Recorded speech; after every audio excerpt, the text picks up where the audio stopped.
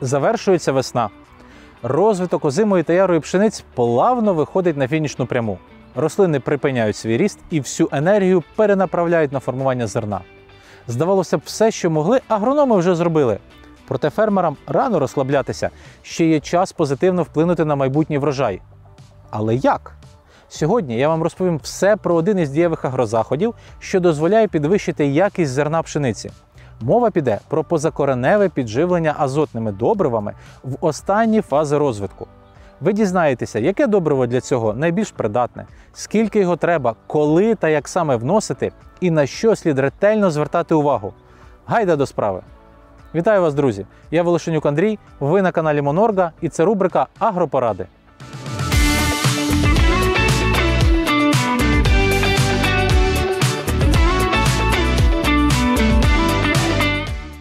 Живлення азотом в останні фенологічні фази розвитку.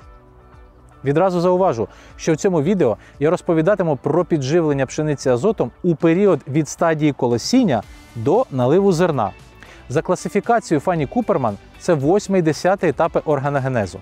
За шкалою Biologische Bundesanstalt Furland und Forstwirtschaft Bundessortenamt und Chemische Industrie це стадії 50-70.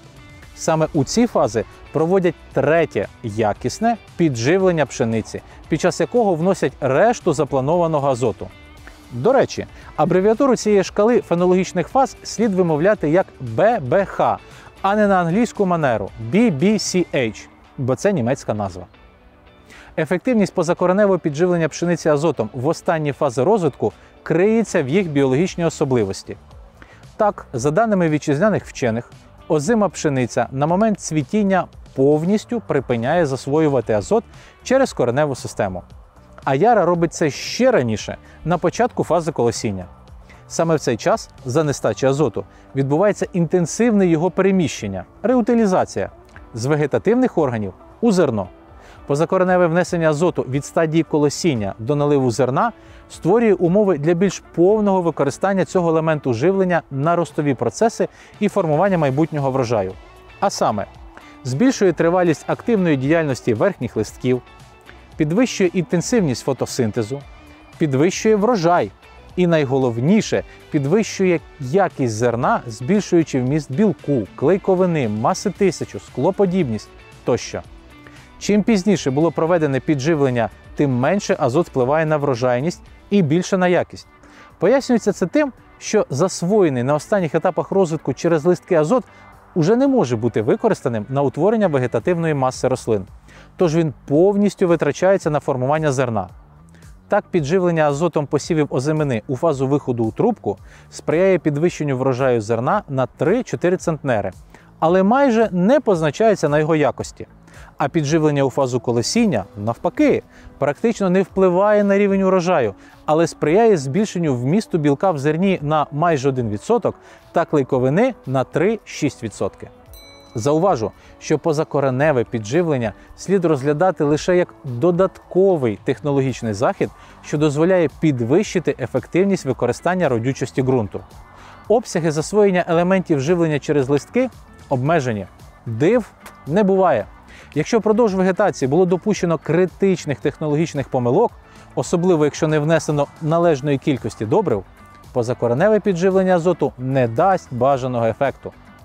Зверніть особливу увагу, вкрай важливим у цей час є наявність здорового листкового апарату, котрий може належним чином забезпечити поглинання, засвоєння і переміщення азоту з листків і стебел у зернівку. Для забезпечення необхідної кількості листкового апарату має бути досконалою система захисту від хвороб і шкідників. Чим здоровішим буде листковий апарат, тим ліпше.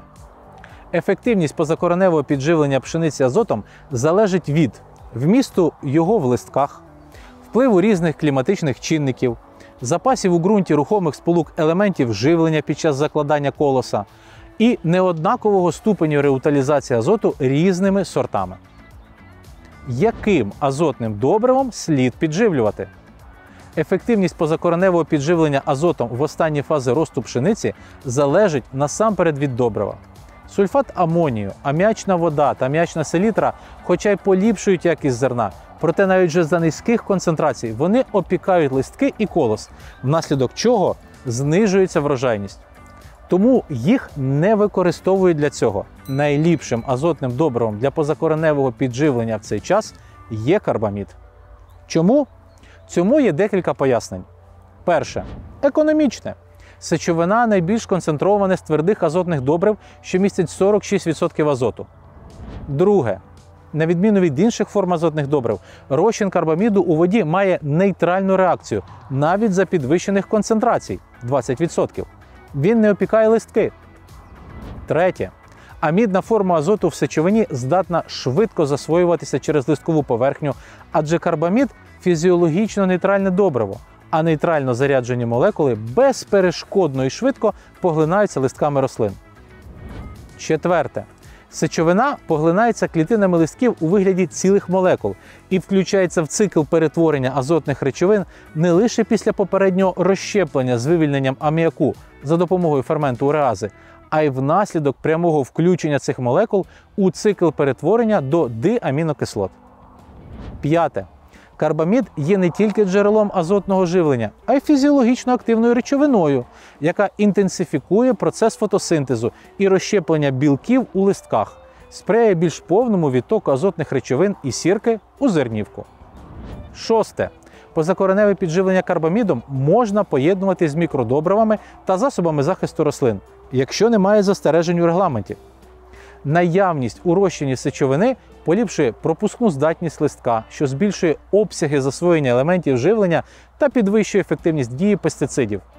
Дози внесення останніх можна знизити до мінімально рекомендованої величини. Увага! Синергізм дії карбаміду та гербіциду чи регулятора росту може бути шкідливим для культурних рослин, тому таке поєднання потребує обережності та тестування. Сьоме. Сечовина добре розчиняється у воді. Насичений розчин за температури 20 градусів містить 52% карбаміду. У водних розчинах карбамід дуже стійкий аж до температури 80 градусів. Концентровані розчини сечовини не мають високих показників електропровідності. Восьме. Карбамід має добрі фізичні характеристики. Насипом без тари може зберігатися без злежування близько 6 місяців, після чого, на відміну від аміачної селітри, насип вкривається з цементованою кіркою, але всередині добриво не злежується. Так, і з тим, що це має бути саме сечовина, ми розібралися. Тепер настав час дати відповідь на інші важливі питання: якою має бути норма добрива?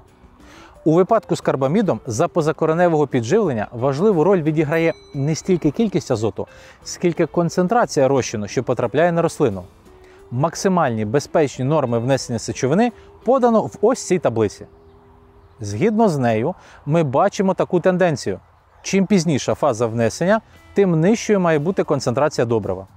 При цьому оптимальною є витрата робочого розчину 200-300 літрів на гектар. Для приготування розчину карбаміду слід наповнити бак оприскувача на 2 третини водою, потім включити мішалку і додати потрібну кількість добрива. Після розчинення необхідно долити бак водою до повного об'єму. Для прикладу, якщо витрата робочого розчину вашого оприскувача становить 200 літрів на гектар, то згідно з таблицею, удобрюючи посіви у фазу початку виходу в трубку, ви можете додати в бак до 24 кг сечовини, у фазу ж молочної стиглості до 10 кг. Як було сказано раніше, розчин з умістом 20% карбаміду не спричиняє опіки, але концентрація понад 5%, надійшовши в клітини, зумовлює плазмоліз, що не супроводжується некрозом тканин, але викликає тимчасові негативні зміни у рослинах. У перші дні після оприскування пригнічується процес фотосинтезу. За декілька днів стан рослин відновлюється. Якщо ж ви плануєте внести сечовину позакоренево понад оптимальні норми, то додайте до суміші сульфат магнію. Він знівелює негативний вплив великої кількості карбаміду і додатково підживить рослини сіркою та магнієм. Достатньо буде додати 5 кг семиводного або 3 кг одноводного сульфату магнію на кожні 100 літрів води. Слід зазначити, що часткове побуріння країв листків пожовтіння верхньої частини листкової пластинки та поява незначних плям від опіків після підживлення не впливають негативно на врожай пшениці озимої завдяки поліпшенню азотного живлення. Переглянувши уважно таблицю, ви можете запитати: Андрію, а чому не слід підживлювати сечовиною під час цвітіння?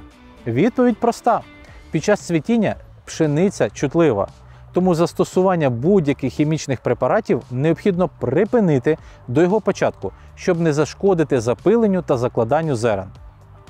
Коли і як вносити карбамід?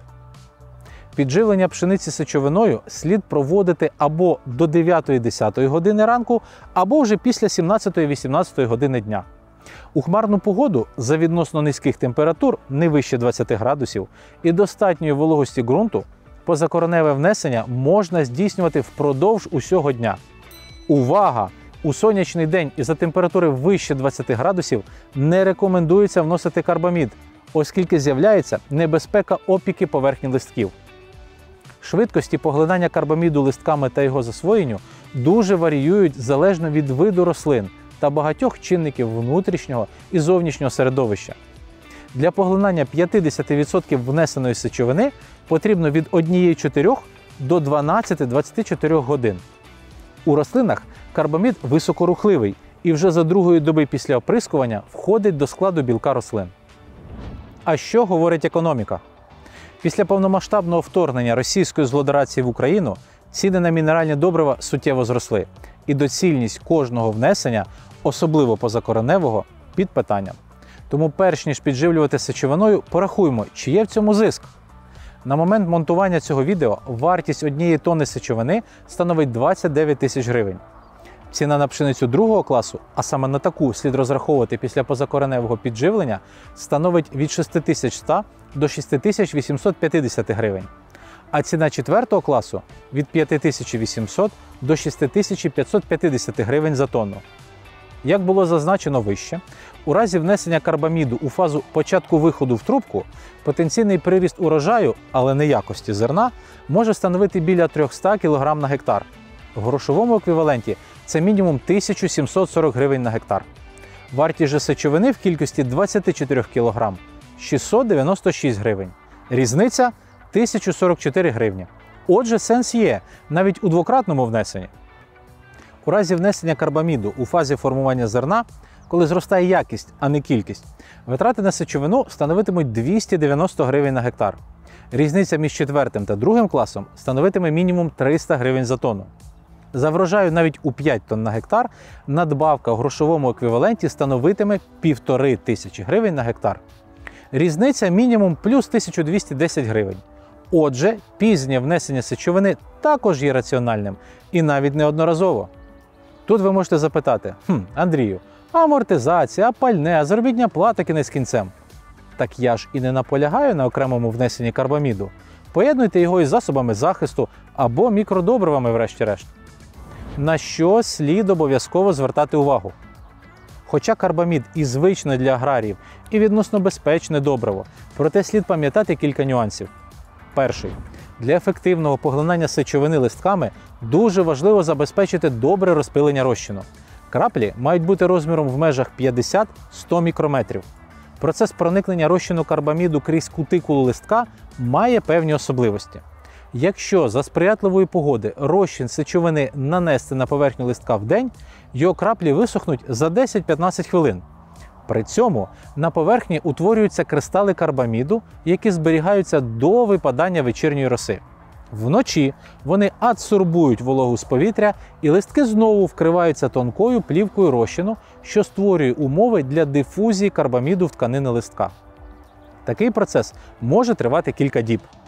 Саме тому для ефективного поглинання сечовини листками дуже важливо забезпечити добре розпилення розчину, оскільки занадто малі краплі можуть втрачати вологу ще до потрапляння на листок, а великі під час висихання утворюють друзи кристалів, які не утримуються на поверхні листкової пластинки і обсипаються на землю. Другий нюанс це шкідливий вплив біурету.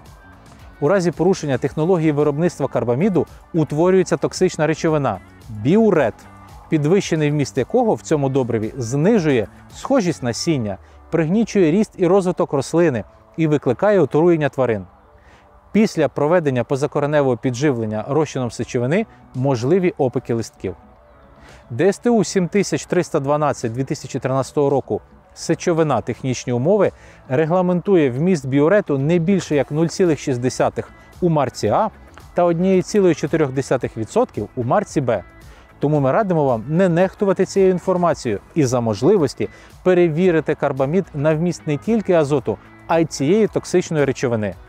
Для цього зверніться до найближчої до вас агролабораторії.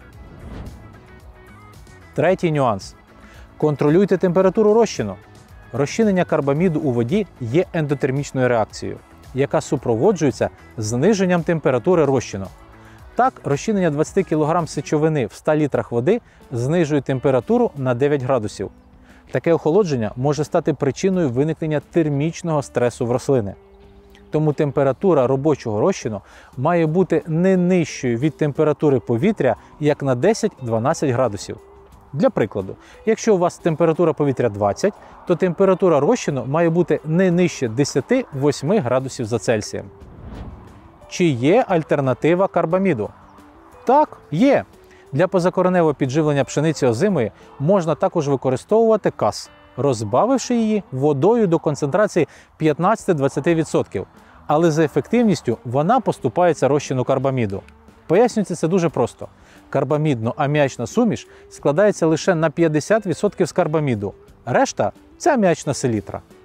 Кас доречніше застосовувати під час ранньовесняного підживлення по мерзлоталому ґрунту. Дізнатися, як саме і коли необхідно підживлювати озимі культури перед відновленням вегетації навесні, ви можете, переглянувши ось це відео, перейшовши за підказкою. Рекомендую, там багато цікавої та важливої інформації. Отже, підіб'ємо підсумок. Позакореневе підживлення пшениці карбамідом у період фаз від виходу в трубку до наливу зерна є універсальним і економічно виправданим заходом з підвищення кількості та якості майбутнього врожаю. А якими добривами ви, шановні глядачі, підживлюєте ваші посіви пшениць на пізніх етапах росту та розвитку? І в якій кількості? І чи додаєте ви при цьому сульфат магнію? Напишіть, будь ласка, про це в коментарях. Глядачам та нашій команді буде цікаво. Сподобалося відео? Тоді підписуйтеся на канал, ставте вподобайки і коментуйте. Підтримуйте Збройні Сили України, а за можливості і нас на Patreon та YouTube. Деталі, як саме це зробити, в описі до відео та першому прикріпленому коментарі. До нових зустрічей! Цетером Аутем Цензео, Картагенем Еседелендам.